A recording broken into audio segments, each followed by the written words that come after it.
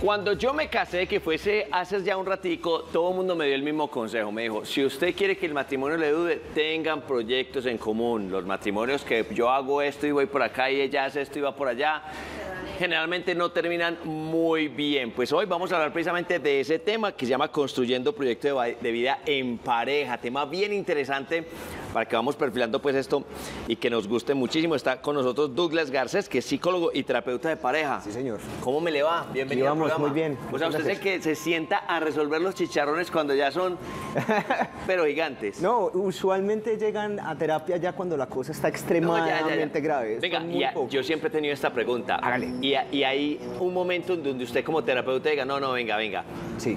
sepárense, aquí no hay nada que arreglar. Pues es que... ¿En serio? Sí, claro, es que lo, lo que hace la terapia de pareja es tomar decisiones, ¿sí? Sea para estar juntos, sea para separarse, sea para reconstruir lo que ya está y seguir, ¿sí? Pero igualmente es una cuestión de que, bueno, muchachos, aquí estamos, ¿cómo estamos? ¿Dónde estamos? Y si ustedes todavía siguen tirando lados diferentes, esto es una opción. De todas las opciones que hay, es una opción. Venga, Douglas, ¿cuál es ese top 3 de cosas que hace que uno diga, no, ya aquí esto ya no tiene arreglo de nada? Hermano, la infidelidad sigue siendo el number Infidelidad es el number one. Number one Ay, es ay, ay, infidelidad. ay, ay, ay. O sea, Lo cuando llegan con infidelidad, recuperar eso es bien complicado. Es muy complicado, Alejo. Es, yo creo que las, es la más difícil de todas porque hay un Perfecto. quiebre absoluto en la confianza y también en, en- en las dificultades que hay en la... Todo eso se combina. La imagen que uno tiene del otro, la confianza que uno tiene del otro, lo- Claro. lo, que se supone que iba a ser pero ya no es. Ese es el número uno. ¿Cuáles serían los otros dos? Eh, consumo de sustancias, Ah, abuso físico, psicológico y en algunas ocasiones sexual, lo que nosotros llamamos la rela, pues lo que se conoce mal llamado en las relaciones tóxicas. Ok. Y lo tercero son las diferencias en el proyecto de vida. Diferencias del proyecto de vida. Bueno, ¿cómo se forma un proyecto de vida juntos? Eso es que vamos a comprar una casa juntos, vamos a, Ah. a ir a pasar juntos, vamos a montar empresa juntos. ¿Qué se considera tener un proyecto de vida en pareja? Oíste Alejo, vea, lo que pasa con el proyecto de vida es que tiene mucho que ver primero con la historia de uno, Cómo fue criado uno y en el marco en donde uno fue criado. Ahí entonces entran dos combinaciones, porque cuando vos estás en una pareja y dices, hola mi amor, ¿cómo estás? ¿Cómo te ha ido? Vamos a casarnos y la cosa está como bien, ya ahí entonces, bueno, ¿qué querés vos? Sí. ¿Qué prioridades tenés vos? ¿Qué traigo yo de prioridades? ¿Qué Exacto. traigo yo de prioridades? Porque se combinan también Las que yo traía. Exacto, y no solamente eso, sino también las expectativas, las heridas, las propias dependencias o las propias situaciones individuales que se combinan todo en, un sola, en una sola cosa, se hace un cóctel y bienvenido al proyecto de vida. Oye, y que uno nunca piensa en esas cosas, o sea, uno no- nunca pregunta, oíste, ¿y vos qué? ¿Vos querías tener eso? Porque es que uno nunca dice eso, pero, pero sí, oíste, vení, tu papá y tu mamá son divorciados, ah, bueno, y mi, mi papá y mi mamá han sido casados todas, yo he crecido en, en hogar normal y vos no, eso ahí como que va chocando y uno debería pensarle dos veces. Quiero ¿no? añadirle un elemento más. ver, ¿cuál? Si hay alguna problemática de violencia, de abuso de alguna sustancia o de que hayan, hayan si- situaciones significativas de salud mental en la familia. O sea, hablemos en plata blanca Douglas. Hágale. Si yo estoy con una noviecita, vamos como que muy bien, pero ella me cuenta, no, es que a mí mi papá me golpeaba a diario y no, y mi papá todavía golpea a mis hermanas, y uno creció en un hogar que no ha sido sino amor de esos de telenovela, ahí como que la vaina como que no va, Va a haber, un- va a haber un, ya, pues, va a haber una tensión, Ok. ¿cierto? No, ojo, no estoy diciendo No, que, que eso sea significativo. Que que dijo sea- en el programa de Telemetría Sí, sí, no que vea que el no psicólogo. No, que el psicólogo dijo, no, no, no, no. No, no, pero, pero... Tiene que ver. De ahí la invitación de primera parte. Si ustedes dos están buscando estructurar un proyecto de vida conjunto, primero evalúese usted. Vamos a evaluar esas heridas, vamos a evaluar esas situaciones que te están trayendo dificultades, que inevitablemente causan una tensión en la pareja, como primer paso absoluto. ¿Por qué? Porque tenés que explorar por qué está reaccionando de la manera que está reaccionando ante los conflictos que puedan tener como pareja. Bueno, entonces volvamos a esa génesis. Proyecto de vida. Entonces, me veo como con esa persona Listo. que me voy a casar, traigo mis, mis anteriores proyectos, que es que yo hago deporte sí o sí todos los fines de semana, que es que yo sí o sí voy y visito a mi mamá. Ella dice que sí o sí va a la iglesia sagradamente martes y jueves de María Auxiliadora. O sea, ¿cómo combinamos esas dos cosas? ¿Se considera proyecto de vida entonces? Claro que sí. Ok. Dos claves, comunicación y negociación, ¿cierto? Comunicación y negociación tiene que ver es Vos que sos deportista, que vas a la iglesia, que tenés toda la situación y toda la cosa hasta ahí, vos tenés que entonces comunicar estas expectativas no como un menú de si no las cumplís entonces no vamos, no, porque eso no se trata. No, es un checklist de, a ver, empecemos, no, no, no, Que eso es lo que se está vendiendo en redes sociales en este momento, eso no es. Si vos estás lo suficientemente enamorado de tu pareja, y no solamente en el, enamoramiento romántico y así, pasión y todo, no, venga, vamos a construir algo. Yo soy así, me gusta esto, me gusta esto, me gusta esto. ¿Qué pensás vos? Que se supone que eso se conoce en la etapa del noviazgo. Se supone. Se supone. Muy bien dicho. Bueno, pero entonces venga, aquí entra una contradicción bien grande. Yo soy de los que digo que uno sí se debería ir a vivir con la pareja antes de casarse. Sí, claro. Porque es que una cosa es de novio cada fin de semana, yo me voy para mi casa, usted para la suya. Pero pues obviamente eso entra un poquito en la cultura de no, que es que si no están casados, no, y una cantidad de cosas. Desde, desde lo clínico, ¿cuál es la recomendación? Mira que ahí entra otro elemento bien, bien chévere, Alejo, que es lo que diga la cultura y vos que tanto estás moviendo tú ahí. ¿Por qué? Porque cada pareja es un mundo totalmente individual, es un mundo totalmente distinto, es algo completamente diferente. Entonces, si vos con tu pareja estás diciendo, vamos a construir esto de esta manera, juntándonos los fines de semana, viniendo ahí. Ahí generalmente la mujer es la que pregunta, bueno, ¿y el anillo para cuándo, papá? ¿El anillo para cuándo? Sí. Como la canción de Jennifer López, ¿y el anillo para cuándo? ¿Y el anillo para cuándo? No, pero es que el anillo va. Lo que pasa es que primero hay que hacer una etapa aquí de mirar si esto sí está funcionando, como si fuera un casting. Qué pena, pero es la realidad. Por eso es que hay matrimonios que llevan, y los han visto, y seguramente ustedes en casa los han visto, que llevan 10 años de novios. No, una maravilla. Yo voy cada fin de semana, nos vemos. Eh, y eso es un matrimonio. Y se casan. Sí. Y chao y a los seis meses no funciona la vaina. ¿Por qué? Porque hay que mirar también cómo es recién levantada, cómo es el mal genio de uno también cuando está cansado y una cantidad no, los olores corporales, cómo se acuesta, dónde se acuesta, si lo, si lo barrió bien, si no lo barrió bien. Los, zapatos debajo de la...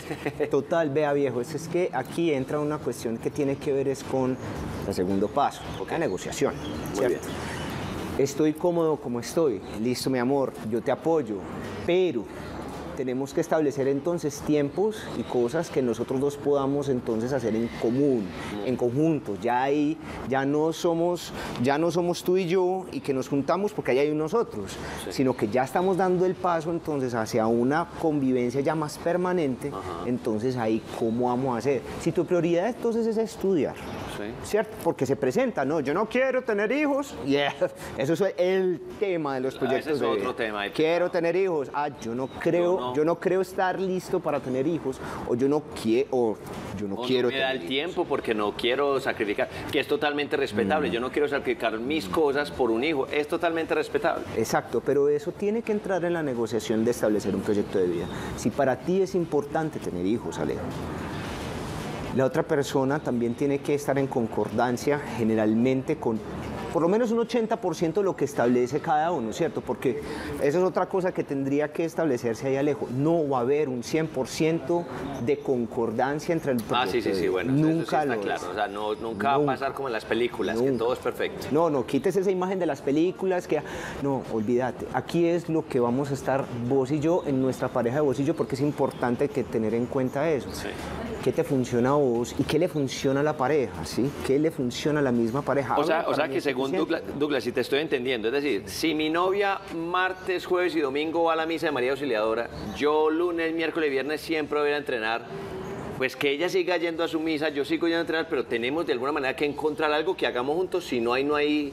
No hay pareja. No hay pareja. No hay pareja porque... Así vivamos juntos, que nos vemos por la noche cuando llegues de misa y yo llegue a entrenar, no, no, no. No, entonces, ¿qué tiempo van a tener para entonces la conexión, la comunicación, ese esa latonería y pintura y ajuste que necesita la pareja, que es que intimidad, que necesitan entonces también comunicación y necesita también esa... esa esa compenetración esa, esa bacanería de, de, personas, ¿sí? esa amistad. Y eso requiere tiempo, requiere presencia y requiere espacio. Y yo he, escuchado, yo he escuchado muchas veces que las parejas se casan y, y uy, tu señora que no, pues ya me mantiene de la mamá, ella va mucho de la mamá y sale con las amigas y, y vos cuando la ves, no, los sábados compartimos un ratito al mediodía al almuerzo. O sea, y eso ahí no hay ningún tipo de... Mira, a, eso va al fracaso, como decís. No, claro, vos tenés un punto acá bien importante y gracias por mencionarlo, loco, que es que, que las vinculaciones con la familia siguen siendo muy importantes importantes. ¿sí? Hay unos que son más desprendidos de la familia que otros, hay unos que tienen una familia más funcional que otros. Ajá.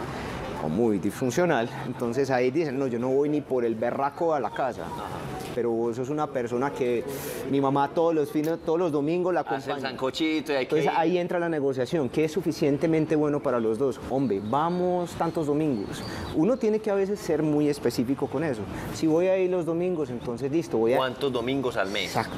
En serio, así, así incluso casi que veces, escrito el, el contrato. Pues no tiene que ser muy rígido, obvio, pues, pero, pero- son acuerdos. De nuevo, ¿qué es suficiente para la pareja? ¿Qué es suficiente para la pareja? Ay, es que para mí es muy importante que vaya con mi mamá. Ah, bueno, perfecto, amor. Entonces, ah, para mí es muy importante te- que tengamos tiempo como pareja. Entonces, andamos tantos domingos y sería muy bacano. Me gustaría, yo pienso, yo siento que nos podríamos juntar tantos domingos vos y yo. Así tendríamos tiempo para el entrenamiento y vos para las misas. Si ella dice, no, yo sí o sí el domingo voy para donde mi mamá porque es que eso sí es ineludible, ¿qué? ¿Terapia? ¿Divorcio? ¿Consigo un, un mediador? ¿Ella consigue un gallo el mío? No, pues tanto como un medio, pues. Ahí entonces el ejercicio es para la pareja, sí o sí. De nuevo, comunicación, negociación, pero eso depende hasta dónde quieren llegar ustedes. Ay, es que vea, Me que no la- me llevo, me... No, espere, ¿por qué? Venga, amor, ¿por qué? O sea, el, matrimonio es un negocio de ceder también eh, de Sí. ciertas cosas y eso funciona muchas Claro, veces. pero ahí es buscar un equilibrio, porque no todo es ceder, y ahí es donde entran las relaciones de, de- de- de abuso, ¿sí?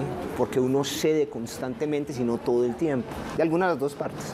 Pero entonces entra ahí la negociación, hermano, Douglas, que sea suficiente para eh, ir a terapia no significa que estamos locos, que estamos mal, que nos vamos a, incluso un matrimonio en buenos términos. Debería ir a terapia también. Puede ir, claro Qué que bueno, sí, qué claro que sí. noticia esa. De nuevo, la, la terapia no es... Yo siempre le digo a mis pacientes lo siguiente, la terapia no es para resolver, para... La terapia no es para arreglar, la terapia es para para, tomar decisiones. Y para mejorar. Entonces vení, tenemos un buen matrimonio. ¿Qué nos puede hacer mejores? ¿Qué de Qué pronto me está faltando bueno a mí que yo puedo Qué ajustar? bueno ese mensaje porque funciona con el mismo con lo del psicólogo. No es cuando se esté mal, es para también empezar a, a estar mucho mejor. Claro. Douglas, si te quieren contactar, si quieren eh, llenarse de esa bonita energía, de, de, de pronto tener una mirada un poco más profunda la relación que tengo con la esposa o el esposo, ¿dónde te pueden encontrar? No, pues a mí me pueden encontrar, hermano, en Instagram, YouTube y Facebook, arroba, arroba Dou Garcés Psico, D-O-U Garcés P Psico. Ese sería como... Douglas Eso, Psico, con la sí. P de, de psicólogo. De psicólogo. Sí, no. Douglas, muchísimas gracias y va a tener que regresar para que sigamos hablando de estos temas. Claro, que hermano, que- a la que orden. gusta muchísimo. De verdad. Nosotros vamos a continuar y se llenó este set de más belleza. Claro, como me salí yo,